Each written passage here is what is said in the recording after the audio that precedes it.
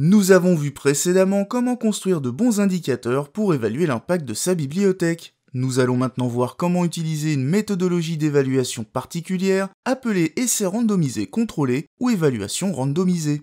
L'évaluation randomisée a pour particularité d'utiliser l'assignation aléatoire ou au hasard d'une intervention comme élément central de l'évaluation. Cela signifie que pour construire le groupe test qui va participer au programme et le groupe contrôle qui n'y participe pas et qui servira de point de comparaison, on utilise tout simplement le tirage au sort.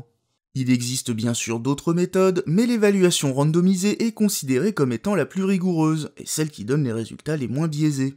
Pour vous donner un exemple, le Poverty and Action Lab fondé par Esther Duflo au MIT utilise en permanence cette méthode pour aider les ONG et les institutions publiques à évaluer l'impact de leurs actions et ainsi prendre de meilleures décisions.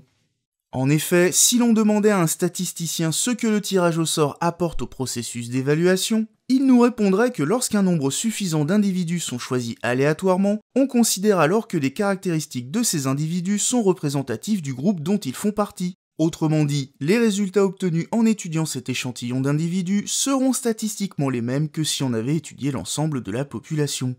C'est pour cette raison que cette méthode est considérée comme étant la plus fiable. Si on considère que le groupe test et le groupe contrôle sont tous deux représentatifs de la population globale, cela signifie que les différences observées entre les deux groupes seront forcément liées au fait d'avoir suivi ou non le programme observé. Imaginons par exemple que vous cherchiez à mesurer l'impact d'un programme de soutien scolaire au sein de votre bibliothèque. Si le groupe contrôle et le groupe test ont bien été constitués aléatoirement, cela signifie que les deux sont statistiquement équivalents, avec la même moyenne d'âge, le même niveau scolaire moyen, les mêmes catégories socio-professionnelles pour les parents, etc. Toute différence mesurée en fin de programme pourra ainsi être imputée à ce dernier, par exemple si les élèves qui l'ont suivi obtiennent de meilleurs résultats scolaires que ceux qui ne l'ont pas fait. Comme vous le voyez, l'évaluation d'impact randomisé offre une rigueur méthodologique incomparable. Toutefois, il faut faire attention, car il existe tout de même des cas où cette méthode n'est pas appropriée. Par exemple, si vous proposez une action dont vous savez qu'elle bénéficiera à tous sans distinction, il est délicat d'expliquer à un groupe qu'il a été choisi aléatoirement pour ne pas en bénéficier, et ce dans le seul but d'en tester l'impact.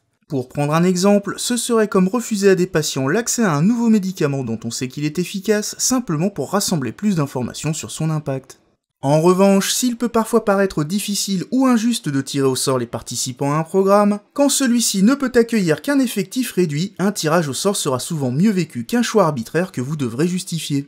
Il y a aussi les cas où votre programme connaît des changements au cours de l'expérimentation. L'évaluation randomisée sera alors inefficace car vous ne pourrez pas déterminer si les différences observées entre les groupes sont dues ou non à ces changements. De même, si le nombre de participants au programme est trop faible, vous ne pourrez pas non plus appliquer ce protocole, car vous ne disposerez pas d'assez d'observations pour pouvoir statistiquement détecter un impact. Petit aparté, si vous souhaitez en apprendre plus sur les calculs de puissance statistique, n'hésitez pas à consulter les ressources additionnelles accompagnant cette vidéo. Pour finir, le dernier obstacle potentiel, et non des moindres, est que l'évaluation d'impact randomisé est coûteuse et lourde à mettre en œuvre.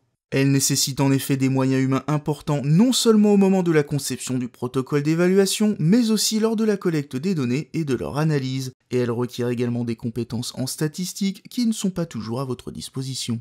Si vous estimez dès lors que le coût est trop important pour votre structure, il ne faudra pas hésiter à recourir à d'autres méthodes moins lourdes, l'important étant de toujours chercher à évaluer vos actions le plus efficacement possible afin de capitaliser au maximum sur ces dernières et appuyer au mieux vos actions de plaidoyer. A très vite dans une prochaine vidéo.